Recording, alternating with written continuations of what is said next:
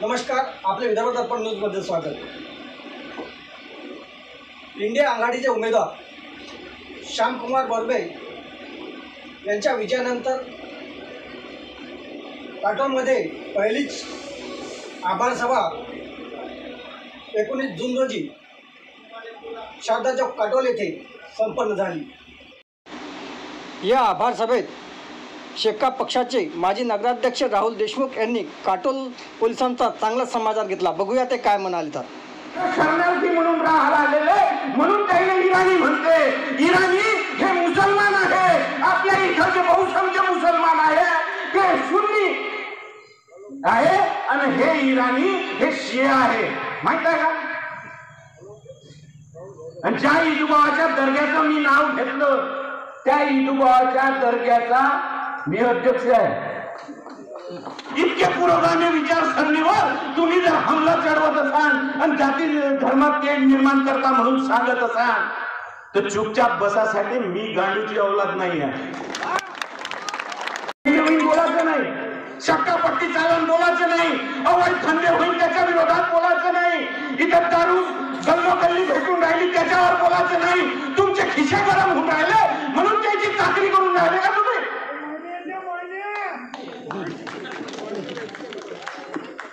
किती त्रास? हे मोठा इतिहास आहे आणि बाबू मग ज्या दिवशी अटक झाली तेव्हापासून सांगतो. आम्ही आंदोलन करणार होतो. एक महाजनची पोरगी किशोर महाजनची जो माझा जुना मित्र आहे जो महाजन म्हणजे धनगर समाजातून येते. हे धनगर जे आपल्या आमच्या पक्षात अनेक वर्षापासून आहे. जिथून सातपुते काका त्या वार्डातून अनेक वेळा निवडून येत होते. तिथून सीट आपली नेहमी निवडून येत होती. तिथून तो पोरगा येते. त्याच्या पोरीचा मृतदेह रेल्वे स्टेशनवर आढळला आढळला. त्याच्या आई वडिलाचं म्हणणं होतं का ते आत्महत्या नसून ते खून आहे. मग आता त्याचं म्हणणं आहे म्हणून ते घरी आले माझ्या. माझ्या घरी आले विनंती कराल का आपण डेप्युटेशन नेलं पाहिजे तिथं बोललो पाहिजे. म्हणून आम्ही डेप्युटेशन घेऊन पोलीस स्टेशनमध्ये गेलो. पोलीस स्टेशनमध्ये गेलो असता आम्ही तिथं त्याच्याशी चर्चा केल्या. पी आय होते डीवायएसपी होते. आणि रेल्वेच्या तपास अधिकारी आल्या होत्या तिचं नाव नाही आठवत नाही ती विद्वानच होती. त्याच्याशी आम्ही चर्चा केल्या. तेव्हा पी आय इथं मिश्रा या पी आय साहेबांमध्ये सांगितलं भाऊ म्हणे आम्हाला वाटते म्हणे आत्महत्याचा आहे पण तपास मॅडमकडे आहे. याईनच सांगितलं का त्या पोरीची अंडरवेअर पायात होती आणि चड्डी इथं होती. अंडरवेअरच्या खाली चड्डी कशी गेली?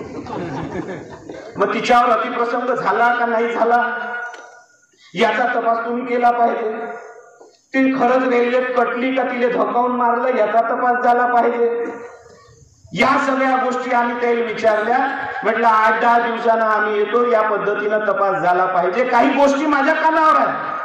काही लोक असे सांगून राहिले का आम्ही एक काळ्या कलरची स्विफ्ट पाहिली आणि त्या काळ्या काळ्या कलरच्या स्विफ्ट मधून मला वाचवा मला वाचवा असा आवाज येत होता. तर काही हे प्रत्यक्षदर्शी माणसं आहेत यांचे तुम्ही बयान घेतले पाहिजे. आमचा काही आग्रह नाही. का इराणी हे खुनीच आहे. म्हणून याने खूनच केला आहे. म्हणून हे तुम्ही दाखवा. बोलून राहिलो बरोबर का नाही बोलून राहिलो? एक न एक शब्द ज्या त्या दिवशी जे बोललो तेच बोलून राहिलो.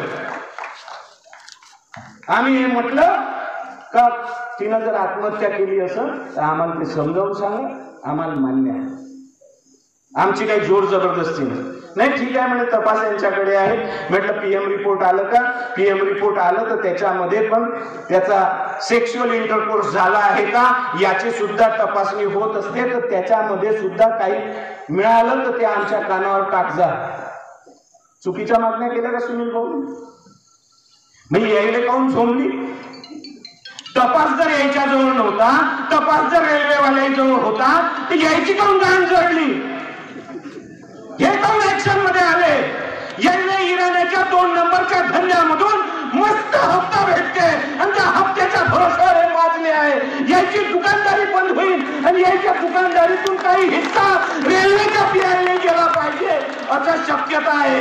हे शक्यता टाळता येत नाही. म्हणून कदाचित तपासही बदलवला असन आणि कदाचित पीएमही बदलवलं असन अशी आमची शंका आहे. काय चूक आहे? याच्यात शंका आहेत आणि आम्ही जर कॅन्डल मार्च काढणार होतो गावातली पोरगी मिळली म्हणून आणि ती श्रद्धांजली देणार होतो